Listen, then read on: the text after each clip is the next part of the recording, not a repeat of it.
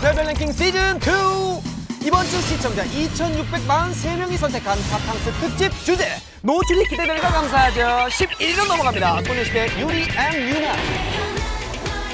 11위는 소녀시대 대표 S라인 몸매 윤아와 유리양을 꼽을 수 있는데요. 특히 유리양은 콘서트 솔로 무대에서 과감한 복근 노출과 섹시 웨이브로 삼촌 팬들을 후끈후끈 후끈후끈 달아오르게 했습니다 모 워터파크 CF에서 살짝 살짝 노출을 볼 수 있는데요. 이걸로 많은 남성 팬들의 갈증을 해소할 수 있을지 모르겠습니다. 여름을 겨냥한 유리와 유나의 몸매 대결 잘록한 허리라인과 탄탄한 복근 남성 팬들에겐 찬사를 여성 팬들에겐 부러움을 일으키는 두 소녀가 11위를 차지했습니다